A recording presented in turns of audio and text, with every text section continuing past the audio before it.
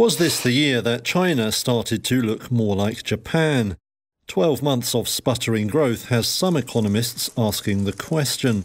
回顾二零二三年的中国经济表现，路透社分析，在新冠疫情解封后，中国消费者本应报复性消费，相反的，他们选择储蓄以备不时之需。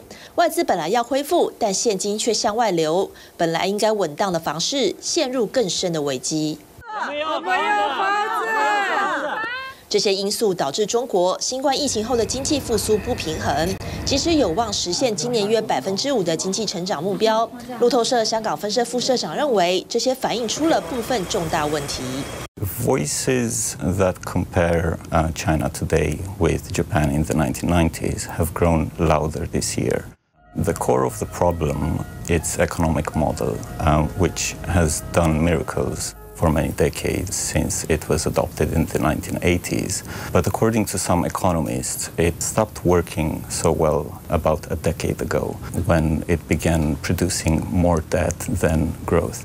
日本已经接受回不去曾经高速成长的事实。随着中国人口萎缩和老化，部分经济学家认为这也是中国的宿命。但北京官方对此不以为然。The fundamentals of China's long-term economic growth have not changed and will not change. 中国誓言改变经济对房地产的依赖，承诺刺激家庭消费，但分析人士认为，目前还没有看到明确的改变计划。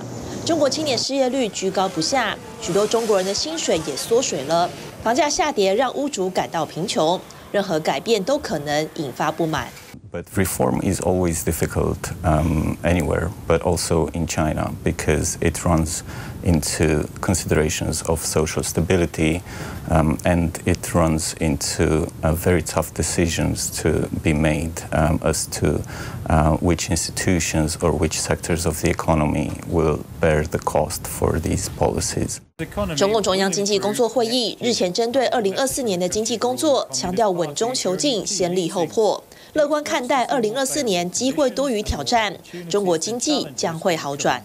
They said macroeconomic policies will continue to provide support for economic recovery.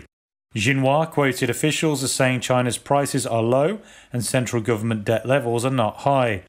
But blockages do persist in the domestic economic cycle as demand, consumption, and enterprise investment remain weak. 世界银行发布最新报告，预测中国2023年百分之五点二的年增长率将放缓到2024年的百分之四点五。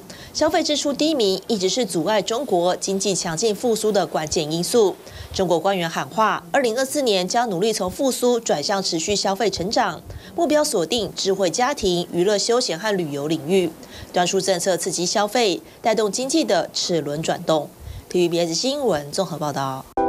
想看最完整的新闻内容，记得下载 TVBS 新闻网 APP。